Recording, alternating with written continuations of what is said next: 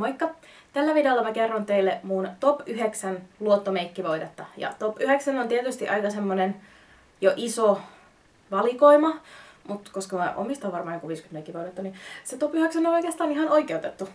Plus, että pari niistä on sellaista, joita mä en välttämättä käytä itse niin paljon, mutta mä luotan niihin täydellisesti asiakkaiden kanssa esimerkiksi. Top 10 olisi ollut mun mielestä tosi kiva, koska sit se olisi semmonen kaunis tasaluku. Mutta en mä halunnut lisätä sinne yhtä ihan vaan sen takia, että mä haluan sen kymmenen siihen. Joten tämä on top 9. Ne on tuossa takana ne mun suosikit. Nätisti riveissä. Osa niistä mulla on useampia sävyjä. Aloitetaan kevyimmästä ja päätytään sitten sinne kaikista peittävimpään ja pysyvimpään. Ja mä kerron jokaisesta vaan sellaisia vähän niin kuin ihan perusfaktoja. Ensimmäinen kaikista kevyin Lumenen Invisible Illumination Instant Glow Beauty Serum. Eli oikeastaan tämä ei ole meikkivoide, vaan tämä on sävyseerumi. Mutta koska käytännössä mä sitten käytän tätä meikkivoiteen tapaan ikään kuin, jos käytän sitä yksinään, niin se pääsi listalle.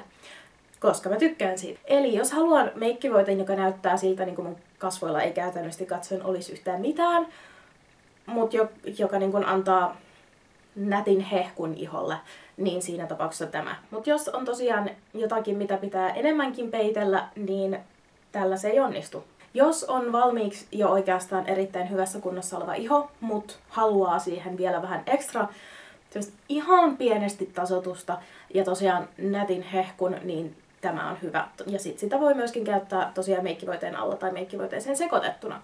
Mutta yksinään käytettynä, niin valmiiksi tavallaan hyvä ihoiselle hyvä vaihtoehto. Seuraava on sitten myös semmonen hyvin kevyesti peittävä vaihtoehto, eli Makeup Forever in Face and Body. Valitettavasti mä en ole nyt ihan varma, että miten asia on tällä hetkellä, että onks Makeup Foreverin uusi versio Face and Bodysta jo tullut markkinoille, vai saako edelleen tätä vanhaa. Um, enkä tiedä, miten se uusi vertautuu tähän edelliseen, mutta tosiaan tämä on ollut mun mielestä aivan mahtava meikkivoide tosiaan silloin, jos tarvii, äm, ei tarvi hirveästi peittaa, vähän sama kuin edellisessä. Äh, haluaa, että iho näyttää luonnolliselta, mutta antaa kuitenkin vähän enemmän peittoa kuin toi sävyseerumi. Tää, tää pystyy kerrostamaan, se kuivuu veden kestäväksi iholla, mutta näyttää silti niin kuin hehkeältä, aidolta. Täydellinen esimerkiksi nuorelle, tai sitten tietysti myöskin muotikuvauksiin, kauneuskuvauksiin, joissa mallin iho on valmiiksi hyvässä kunnossa, mutta että halutaan tehdä siitä vielä semmoinen tavallaan täydellisemmän näköinen. Mä tykkään tästä, koska yleensä kevyet meikkivoiteet on vähän sellaisia, että vähän ajan kuluttua näyttää siltä, että ei niitä enää ole missään, mutta tämä oikeasti pysyykin iholla ihan kivasti.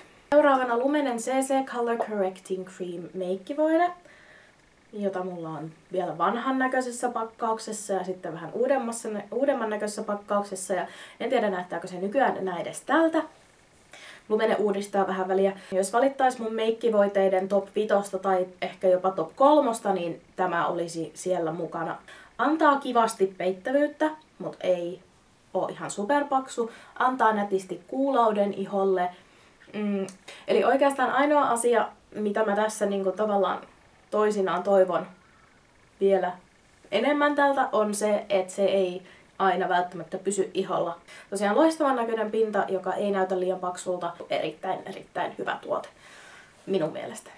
Seuraavaksi yksi meikkivoiteiden klassikko, Eli L'Orealin True Match. Pakkaus on tästäkin muistaakseni jo uusittu. Ensinnäkin tämä on hyvä sen takia, että siinä on laaja välivari, va, värivalikoima. Siinä on C-sävyjä, eli viileäpohjaisia, eli punapohjaisia. Siinä on kaksois V-sävyjä, eli warm, keltapohjaisempia. Sitten, ja sitten siellä on se N, eli neutral. Mulla on nämä sävyt tästä sen takia, että halusin äm, koulun silloin kun olin meikkikoulussa, niin pakkiin jonkun läträysmeikkivoiteen. Eli jotakin, joka ei ole niin arvokasta kuin Makeup Forever, jota ei sit haittaisi kulutella siellä koulussa päivittäin harjoitteluun. Mainitsin ton CC-meikkivoiteen ennen tätä, koska se on mun mielestä peittävyydeltään kevyempi ja kevyemmän näköinen iholla, mutta kyllä tääkin menee tosi nätiksi mielestäni siinä iholla. Tämä ei myöskään ole ihan yhtä kuultava mun mielestä. Um, huomasin kyllä sitten, kun vaihtelin tosiaan tavallaan kalliimpien meikkivoiteiden ja sitten tämän välillä siellä koulussa, niin tämä ei ollut ihan yhtä helppo blendata siihen iholle kuin sitten ne kalliimmat meikkivoiteet. Mutta esimerkiksi niin kun Beauty Blenderillä niin tulee tosi nättiä jälkeä tämän kanssa. Tuon CC-meikkivoiteen mä yleensä tykkään eniten levittää sen sellaisella tasapäisellä tiheällä kavukilla, kuten tämä ei ole tasapäinen, mutta tällä esimerkiksi. Ja tähän taas mun mielestä paras on tosiaan se Beauty Blender tai meikkisieni yleensä. Ei ole ihan täysin matta, mutta ei ole silleen kiiltävän kuultavakaan. Just semmonen hyvä, eikä ole semmonen täysin peittävä, mutta ei missään nimessä ole ihan tosi kevytkään. Eli tää on just semmonen sopiva keski vaihtoehto, puolivälivaihtoehto vähän kaikesta. Ja, ja jos tykkäät kevyistä meikkivoiteista, niin tosiaan kannattaa nyt tämä ja loppupää jättää niin kuin pois valikoimasta, koska nämä alkaa olla sellaisia, jotka jo huomattavasti tasoittaa ihon sävyä. Tosin tämän pystyy levittämään niin, että se näyttää kevyemmältäkin. Ke- kevyemmältäkin. Harpataan vähän hinnokkaampiin. Uh, Diorin Dior Skin Nude Skin Glowing Makeup. Uh, tällä saa myöskin peittävyyttä ihoon jo ihan erittäin hyvinkin, mutta silti se näyttää iholla tosi kevyeltä. En ihan olemattomalta, mutta että se sulautuu sinne ihoon ilman, että se näyttää meikkivoiteelta. Mutta ei se nyt tietysti näytä enää ihan täysin iholtakaan, koska siinä kuitenkin on meikkivoide mutta siis se ei näytä silleen kaakkuselta, vaikka se on peittävä. Näin. Ja tämän kohdalla aina puhun siitä, että se antaa semmoisen hehkun, joka on niinku sisäistä. Eli se ei ole sellainen super kiiltävä tai semmonen, mutta siihen jää semmonen olen terve hehku. Ja, ähm, ja sitten tää on mun mielestä erittäin hyvä kuivalle iholle. Jos on öljysempi iho, niin ei välttämättä tosiaan paras vaihtoehto tää on semmonen aika niinku tavallaan, siinä on melkein niinku semmonen vähän voidemainen koostumus, jolloin se leviää kuivalle iholle just nätisti. Juurikin sen peittävyyden, mutta silti sellaisen kuulauden ja kuivalle iholle sopivuuden takia. Ja sitten sen, että se ei kuitenkaan näytä niinku paksulta tai niin. Niin sen takia tää on ollut yksi. Tää olisi siellä mun top kolme meikkivoiteissa. Seuraavaksi meillä on Rimmelin Lasting Finish 25 Hour Nude.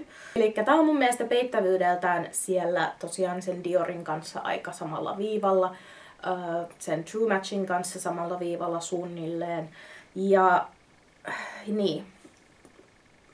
Ja mä ostin tämän sävyn itselleni juuri Prismasta jostain poistolaatikosta viidellä eurolla, joka saa mut hyvin pelokkaaksi. Tää on ihan tyhjä, siellä ei ole enää mitään. Se, että se on poistossa, tarkoittaa todennäköisesti siis sitä, että se on poistumassa. Hmm, ei vaan Prismasta, vaan kaikkialta. Mä en tiedä, tästä on valkokorkkinen versio ja punakorkkinen versio. Tämä valkokorkkinen on medium coverage ja punakorkkinen on full coverage. Ja mä oon aina tykännyt tästä medium coverageista, koska mun mielestä tällä saa itse asiassa erittäinkin peittävää jälkeä. Ainakin beauty blenderillä tai, tai meikkisienellä levittäessä. Ja sellaisella mä oon tätä useasti laittanut. Ja tästä mä tykkään, koska saan sillä sitä hyvää peittävyyttä. Se ei näytä kaakkoselta iholla. Se sopii, vaikka iho olisi kuivempikin. Kestää ihan mielettömän hyvin. Ja tosiaan se, äm, se ei jää sellaiseksi mun mielestä sellaiseksi niinku hirveän kuulaaksi, mutta se ei ole myöskään ihan mattane. Tää on yksi mun lemppari meikkivoiteista. Tää olisi top nelosessa. Ja seuraavana Revlon Color Stay Makeup Combination Oily Skin versio. Tästä on olemassa siis myös kuivemman ihon versio. Itse olen aina tykännyt tästä tästä yhdistelmä- ja öljyisen ihon versiosta. Tämä palasi mun meikkivuodekartalle vasta ihan hiljattain. Ja nyt mennään tavallaan sellaisella historian painolla tämän meikkivoiteen kanssa, koska tämä ei ole ollut mun käytössä nyt varmaan useampaan vuoteen silleen, niin kuin, silleen säännöllisesti. Tämä on sitten semmonen meikkivoide, joka antaa hyvää peittävyyttä. Ei ihan semmonen super täyspeittävä, mutta erittäin hyvä peittävyys. Menee iholla ehdottomasti mattasemmaksi ainakin, koska mulla on enemmän no, normaali kautta kuiva iho. Hmm. Tavallaan verrattuna tuohon äskeiseen rimmeliin, niin tää olisi mattasempi iholla. Ja myöskin tää kestää aivan mielettömän pitkään. Ihan loistava sen puoleen. Se, joka on mun todennäköisesti se top ykkönen, Macin Studio Fix Fluid, eli peittävyydeltään ei edelleenkään ole semmonen niin kuin peitevoiteella kävisit naaman läpi, mutta erittäin erittäin hyvä peittävyys. Toimii mun mielestä monenlaisella iholla. Jos ei etsi ihan täysin mattaa ihoa, niin mun mielestä tämä menee erittäin hyvin seka- tai öljyselle iholle. Ja puutarin kanssa pysyy varmasti mattasempanakin. Tää näyttää iholla aamusta iltaan loistavalta.